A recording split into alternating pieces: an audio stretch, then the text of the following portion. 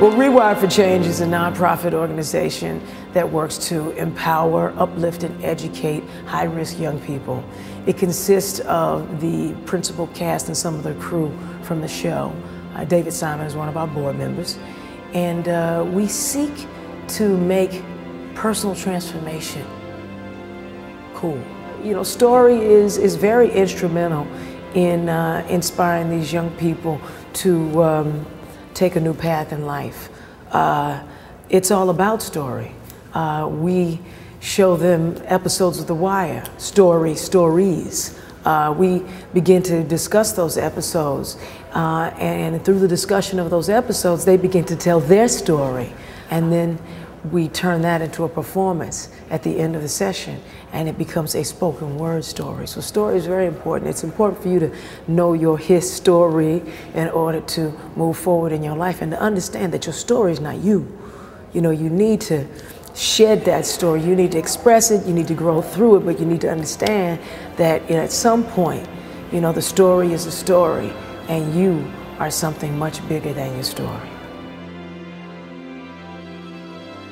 It's not as though young people are not open to the opportunities. The opportunities, there aren't many opportunities available. Um, and they have no idea that they can even access mainstream society.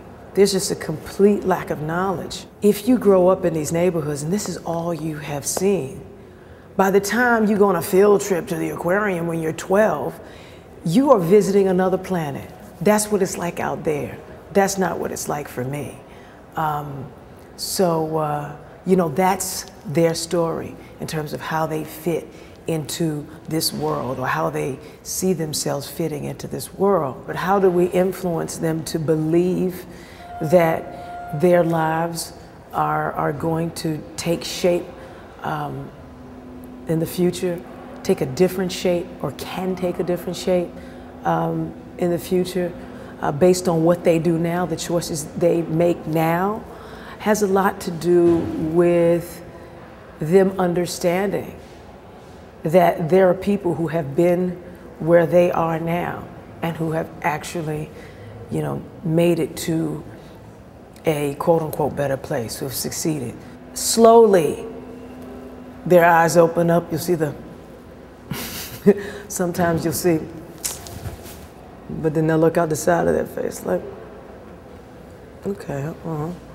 Until the end, you know, at the end of the session of, of the 12 weeks, they're animated, they're, they're doing, they're performing their poetry and, and so forth. It's, uh, you know, we definitely, um, we definitely um, try to do our job.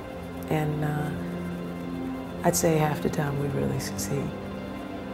The story I hope to tell 10 years from now and beyond uh, would be that Rewire for Change made a difference in this city, in the lives of underprivileged young people uh, who have been committing violent crime.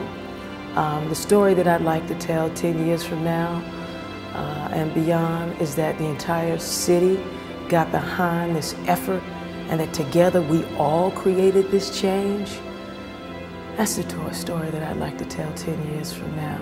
And that we motivated an entire nation towards change.